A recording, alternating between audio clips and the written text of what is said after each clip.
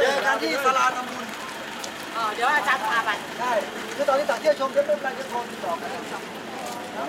สถานที่น่าเที่ยวเยอะมากข้างล่างเยอะมากค่ะ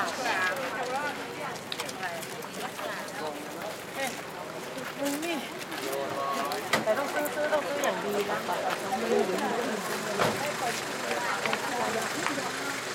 เป็น สิบปีอะ